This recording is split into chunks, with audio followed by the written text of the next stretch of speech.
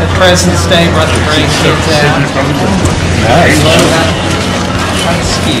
Wow, that's good for you. How old?